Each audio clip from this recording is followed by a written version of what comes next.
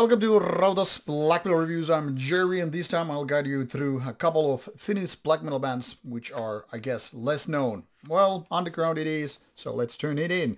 This is split between Kalmankantaja and Somber Winds. Now Kalmankantaja should be not uh, should not be a uh, unknown act because they have done already dozens and dozens of releases through the years and being mostly a one-man project is kind of a bedroomish take on things might actually be the reason for it. Somber Winds then again is a uh, full band and uh, even though there is a mastermind Primus Motor behind the band, it's still a full lineup versus Kalmankantaja being one man here alone. Now throughout the years Kalmankantaja has had few uh, vocalists, uh, including the main man of the band, so there has been variation from release to release, but the main style has always been roughly the same, atmospheric black metal, or like a lot of people would probably say, the same sub-school as Burzum with its uh, rather naturalistic take on atmospheric black metal. Be as may, this is split featuring half and half songs from both bands and they are a little bit alike, but also there are differences. Now, if you go to uh, uh, band's Bandcamp site, uh, sorry, Metal Archive site, uh, you will not see even this latest album listed here. So it's that fresh from the oven. Maybe it will be there later on. But at this point, unfortunately, not listed. But at least it gives you a little bit of idea how does uh, Kalmankantaja discography look like. I mean, you really have to be a hardcore fan to go through all of these releases, to listen to all of and all that stuff.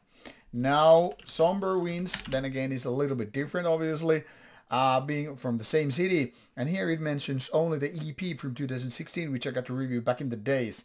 So both bands seem to lack the latest album. I mean, of course, it would be on both sides if worse, but nonetheless. So very, very different in terms of discography. Here it is, one release, and the other side, well, dozens and dozens. Now, Somber Wind style is more rough in terms of black metal. Certainly somewhat melodic, somewhat atmospheric, but also more, I guess, what I you would call definition of second wave black metal in so many ways. There are parts where it just goes a little bit all beyond the borders of that, but still, roughly said, goes with the uh, same box as Kalmankantaja, just with more, I guess, melodies, more driven uh, by riffs in that sense. Now, uh, because of the nature of similarities and differences, this MCD, not MCD, split makes in a way sense and then again it doesn't really. For example, Kalmankantaja style has always been this soothing style. And because of these very atmospheric parts it very very easily falls into the discography of other Kalmankantaja releases. And I would say this ain't no the best nor the worst of Kalmankantaja but rather mediocrity in that sense quite okay to be honest. But I find the vocals are now weaker than what they used to be and too much effects I would say in play. Also some of the riffs and what sounds like a drum machine isn't really doing the trick. I mean it's not annoying but it just gives me a little bit of demo like feeling. Then again that goes very much hand in hand with Somber Wind style because that is very very crude demo like thing uh, to begin with. I mean it's all the way through very, very demo-ish. Whether we're talking about songwriting, which seems to be more on the miss side of hit side of things, and the very crude um, production, which is almost like, how come there is nobody to point out that this doesn't really sound raw nor powerful? So it's more like you're picking the worst of both worlds. I'm saying this, if you don't go for powerful, you know, super production, then at least go for the sense of rawness, the otherworldly feeling with it. And this is like neither. I mean, it's sounding very much like you're recording your first or second, I don't know, demo of all times. Now, it might be the second release by this band, but then again, this band has been there for more than 10 years. One could figure out like maybe with the experience they could have reached something else. So maybe this is intentional. I don't know, but it lacks the power in my opinion it, when it comes to songwriting, it kind of lacks this kind of riffs, which is really, really good. It's almost like the melodies are like quite okay, but not really captivating. They don't really go deep into the emotions. They're halfway through. And when it comes to the less melodic parts, you know, the atmospheric, it's almost like you're not going deep enough into the forest. You're like going halfway and like, okay, let's go home.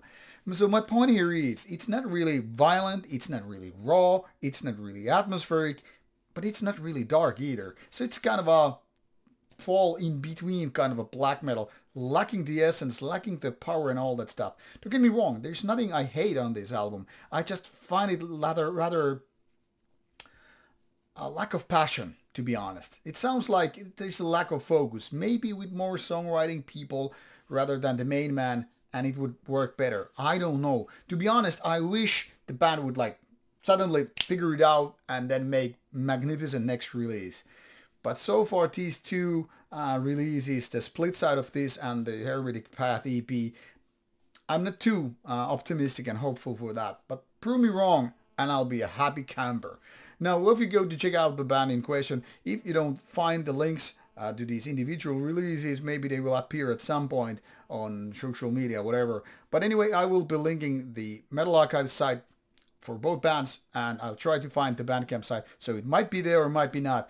And if I haven't gotten it yet, well, let's hope that by the time this review goes out a couple of weeks after I've done the video, that will be there for your listening pleasure and you get to decide whether you like it or not. Now off you go and looking forward your comments as always. Take care.